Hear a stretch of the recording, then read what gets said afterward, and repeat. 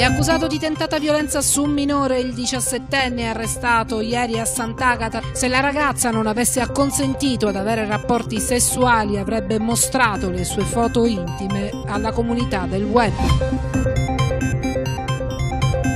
Non ci sarà il patrocinio del comune per il Pride dello Stretto, perentorio il sindaco che bolle commenti omofobi ma non condivide atteggiamenti di estrema ostentazione, intanto su alcuni post indaga la polizia postale.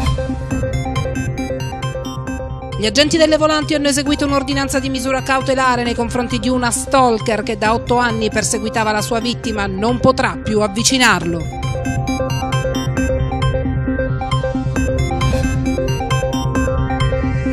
Torna a far discutere l'avvertenza mai chiusa degli orchestrali del Vittorio Emanuele. Oggi incontro a Palazzo Zanca, presente l'onorevole Danilo Lo Giudice, autore di un emendamento all'ARS per il rilancio dell'ente messinese.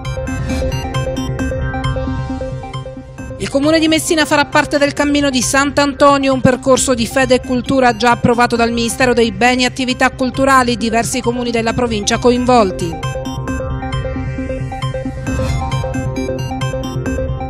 I poliziotti delle volanti hanno tratto in arresto in flagranza di reato un pluripregiudicato intento ad asportare da un istituto scolastico termosifoni. Si tratta di Antonino Di Bella, messinese di 33 anni. Domani al Franco Scogli andrà in scena la stracittadina tra CR Messina e Città di Messina, una sfida decisiva per la salvezza, come spiega il capitano bianco scudato Arcidiacono.